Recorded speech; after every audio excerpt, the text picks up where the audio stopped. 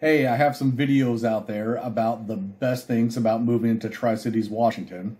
So I thought I'd put together a video about the worst things.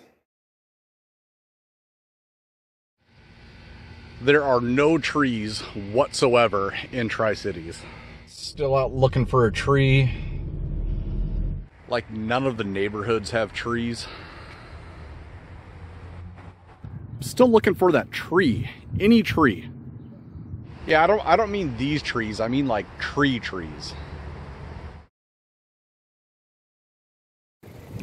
The wind is unbearable and it blows here like every single day.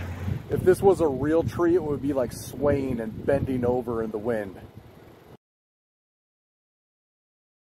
It's pretty much a barren wasteland with no greenery whatsoever.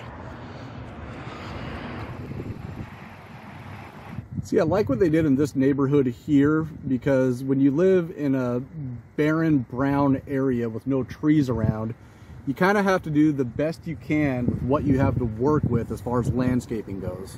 Another day, another trip through the desert. You're in the wrong spot, guys. This is a desert. There's also nowhere to go and nothing to do here.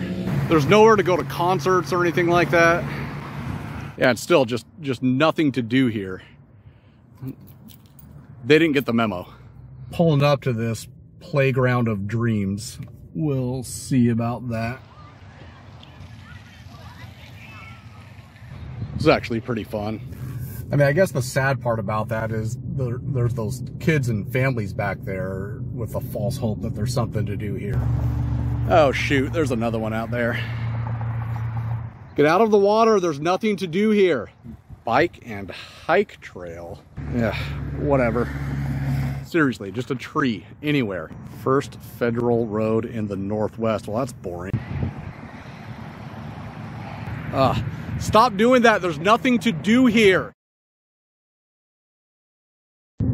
There used to be no traffic here, but look at this. I'm coming up on Steptoe and Gage one of the busiest intersections in town.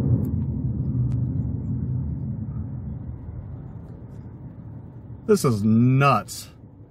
Probably gonna take me 45 seconds to get through this light. Side streets are just as bad as the main roads. Look how backed up this roundabout is. It used to take me five minutes to get to the work, maybe. Now it's five minutes, 45 seconds. Hey, thanks for watching. If you are looking to move to Tri-Cities or make a move in Tri-Cities, be sure to call me.